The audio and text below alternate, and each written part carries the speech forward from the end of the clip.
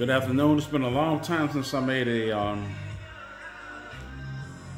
autom automotive repair video. And uh, every now and then I make them because my truck throws an engine check light. Um, it threw a code of um, 121 and it said that the throttle paddle position sensor is um, defective. So the first thing I did was I took this little gadget here, my Bluetooth tester, plugged it in, and it gave me that 121 code. Um, basically what it said was I need to replace the throttle paddle position sensor, and that's what I did. Um, let me show you what I did here.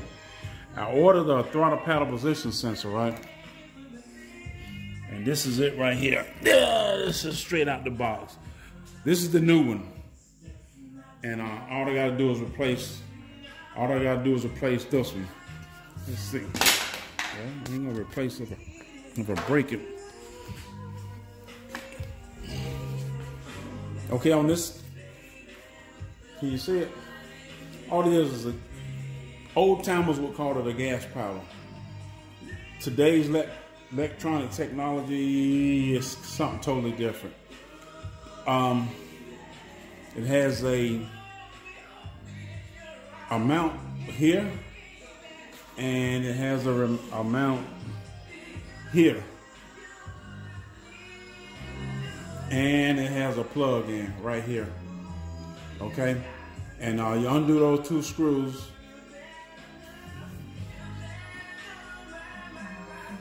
Here and up top.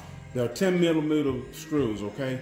Once you unscrew those plug the um, mount it plug the plug back in and it's replaced it's simple as that but before you do that first thing you need to do is come over and disconnect the battery and um, what I'm gonna do is I'm gonna disconnect the battery, pause this, and I'm gonna come right back. Uh, where's the pause button?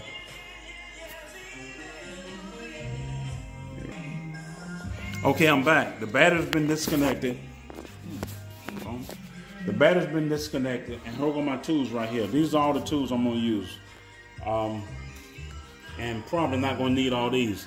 I have a 10 millimeter socket with an extension and I have a 10 millimeter drive ratchet and don't forget this is the replacement part right here so we're gonna take another break all right I'm back.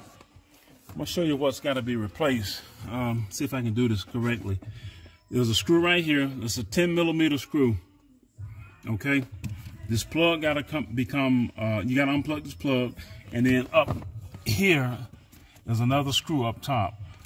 And uh, what I'm gonna do I've already loosened it to speed the time up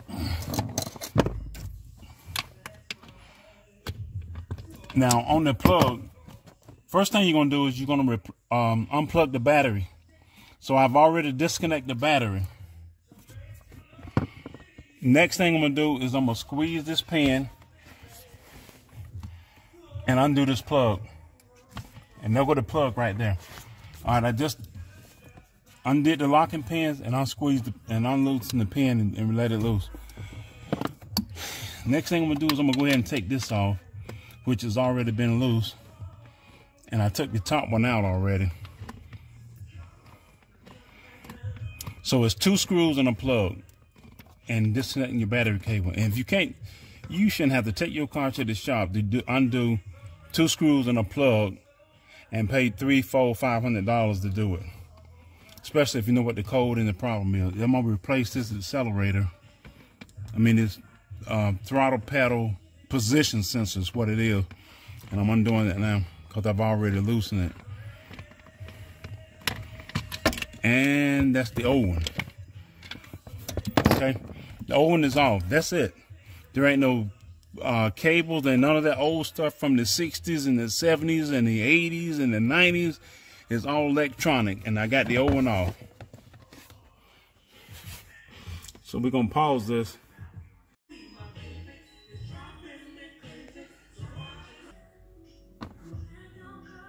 Okay, I got the new one installed, the new assembly installed.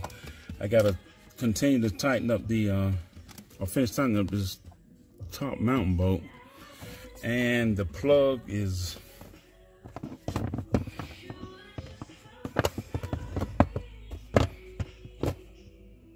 the mountain plug for it, hell, is right here. No cables, no nothing. This is just strictly um, electronics. So it's plugged in. And then pretty much that's it. The gas powder is uh, gas powder. Throttle paddle position sensor has been replaced. And I just got to tighten up this screw here. And this one on top, I got to tighten it up. Once I tighten it up, it's a wrap.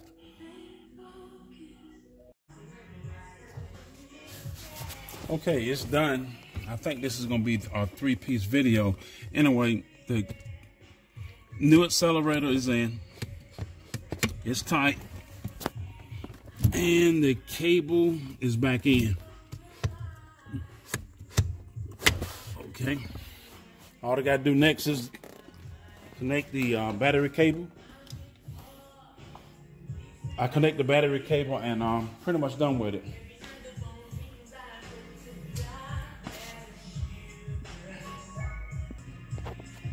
Okay, I've connected the battery cable back. I got to reset the check engine light. Here's the old part right here. The old linkage. Um, gas paddle for old folks. Throttle position, throttle paddle position sensor, which the sensor is inside of here. Right here.